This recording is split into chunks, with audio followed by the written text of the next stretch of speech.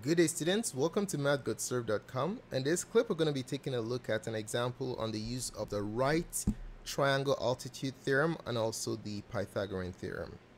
The question reads, in the diagram below of right triangle EFG, altitude FH intersects hypotenuse EG at H, as you can see here. Question, if FH equals 9 and EF equals 15, what is the length of segment EG? Alright, so let's go ahead and populate the diagram with the measures that we have. So we know that um, FH is 9 units long. So this portion right here is 9 units. Don't forget, this is a right triangle, okay? So this is 90 degrees right here. Bam, bam. Okay.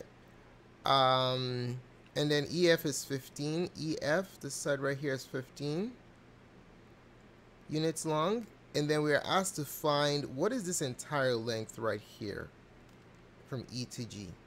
Okay, what is that? That's what we want to find out. So let's go over the steps that we're going to implement to solve this problem.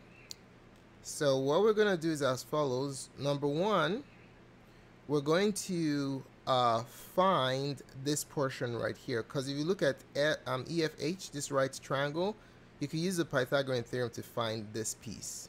Okay, so we're gonna find step one, find um, e EH using the Pythagorean theorem.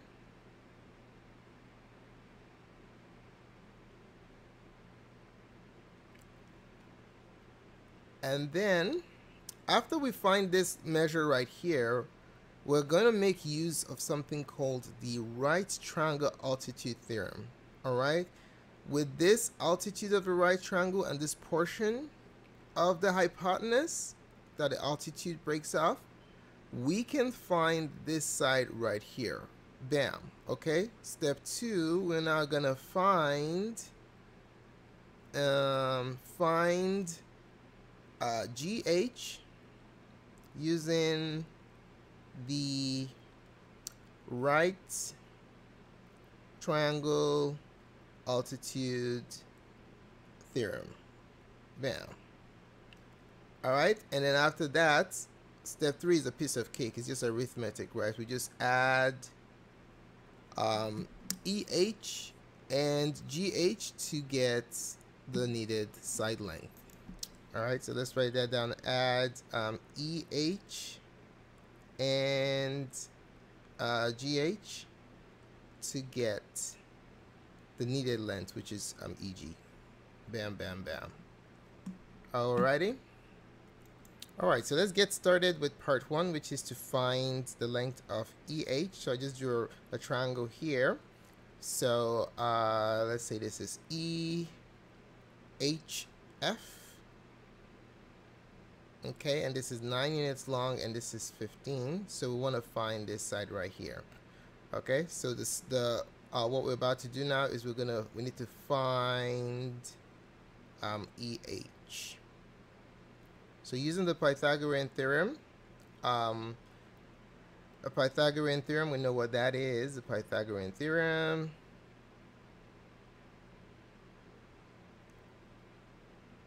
Is um, a squared plus b squared equals c squared, where c is the hypotenuse of the right triangle.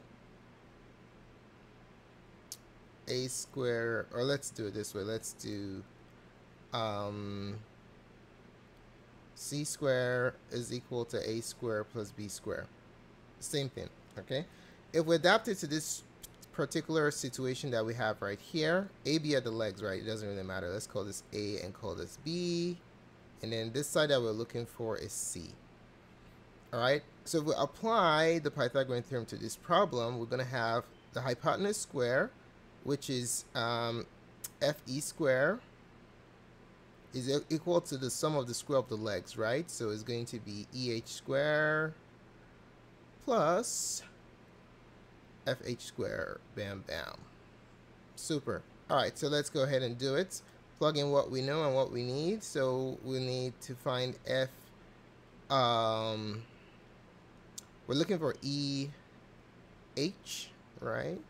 So FE, what is FE? FE is 15, so we have 15 square is equal to EH square plus FH. What is FH? FH is 9 plus 9 square. All right, simplify. 15 squared is 225 is equal to EH square plus 9 square, which is 81. All right, go ahead and subtract 81 from both sides of the equation. And I'm going to switch my equation around, okay? Um, so if we do that, isolates EH square and do your switcheroo, you have EH square is equal to 144. Beautiful, it's a perfect square. So to get EH, take the square root of both sides because the inverse of square is square root and EH is going to be 12 units long. Beautiful. All right, so let's put that into our um, shape figure right here, which is, so this is 12. So we're done with step one, which is to find EH using the Pythagorean theorem.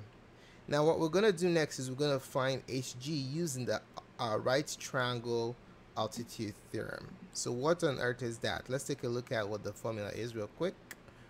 Alright, so if you go to our website, mathgotserved.com, and you go to geometry, you can either access this by clicking here, or you can just click here. Okay. And then you can just scroll down to the theorems and postulates section. Number eight, we're going to have the right triangle altitude theorem. Click on that. So basically says as the square of the altitude of a right triangle from the right angle of the right triangle to the hypotenuse is the product of the two segments formed by the intersection of the altitude and the hypotenuse, all right? So if you have this altitude right from the 90 degree angle and it intersects the hypotenuse at this point, point B. All right, this altitude right here, if you square it, db square x square is going to be equal to the product of these two segments right here, y times z. So that's basically what the right triangle altitude theorem is. All right, so if we apply the, uh, so we did step one, which is which is to find EH. Now step two, if we want to uh, find, we're gonna find, what are we looking for? Uh, GH, right? Or HG, doesn't really matter. Want to find um, HG, let's call it HG. What did I use here? GH. Okay, so to find GH, what we're gonna do is we're gonna use the um, right triangle altitude theorem. Okay, so the right triangle altitude theorem. So you're going to use the right triangle altitude theorem. All right, so in this particular situation, the right triangle altitude theorem is as follows. The alt altitude, which is FH, if you square that, FH square, the altitude from the 90 degree angle that's going to be equal to the product of these two sides down here, which is EH times HG. Bam. Or GH. Okay? Now let, let's plug in what we know and what we need. We know that FH is 9. That was given to us. 9 is equal to, so 9 square is equal to EH. We just found EH. That's why we had to find it first. Times GH. Bam, bam. Okay. All right, let's solve for GH. So simplify this 9 squares 81. 81 is equal to 12 times GH. To get GH isolated, we divide both sides by 12. Bam, bam. Like that. And then we get GH. The measure of GH is 6.75. Alrighty. So you notice that we have 6.75 here. Is that the answer? No. Be careful with intermediate answers. We're asked to find EG, but we just found GH. We are not done yet. Okay, GH is a component of the final answer. It is not the final answer. We have one more step to go.